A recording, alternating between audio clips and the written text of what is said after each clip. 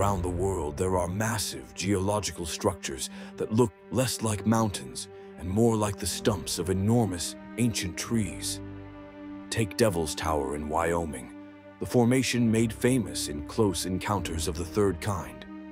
Its perfect hexagonal columns look like the fibers of a gigantic tree trunk frozen in stone. Then there is Devil's Postpile in California, Giant's Causeway in Northern Ireland, and Los Organos in Spain. Each one has the same strange pattern of huge pillar shapes rising straight upward, almost like roots or trunks from something long forgotten. Geologists say these are volcanic formations, but old legends tell a different story. Some cultures speak of trees that reach the clouds, creatures living among them, and a world much larger than our own.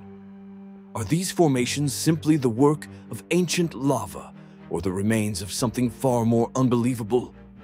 Shadow Mystery Files leaves the question to you.